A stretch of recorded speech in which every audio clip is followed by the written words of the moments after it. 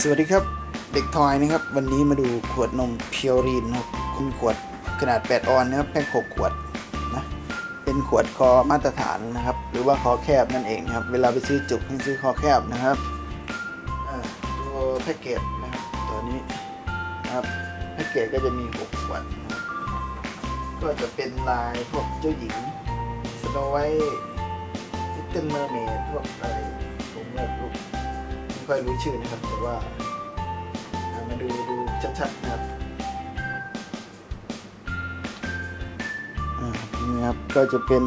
6 ขวดตามนี้นะครับ6ลาย 6 สี ดูลายนะครับสเกลนะครับสเกลสเกลบอกปริมาณนะนี่นะครับก็จะเป็นขนาด 8 ออนนะครับ240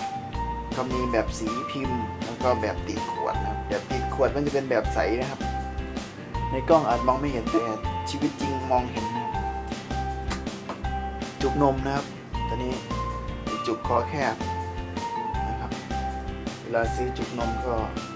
เอาขวดจุกคอแคบมาใส่นะครับถึงจะใส่ได้นะในส่วนของขวดจะเป็นขวด PP นะครับขาวขุ่นนะ ไม่ได้ใสเหมือนไททันนะครับ ลูกค้าซื้อไปบางทีอาจจะมีขุ่นเล็กน้อยนะครับ ก็ให้ล้างออกนะครับไม่ใช่ขวดของเก่านะครับ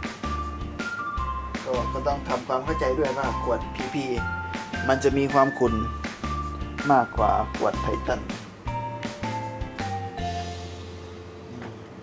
สนใจก็สั่งซื้อสินค้าได้นะครับ ตามลิงก์ด้านล่างของวิดีโอ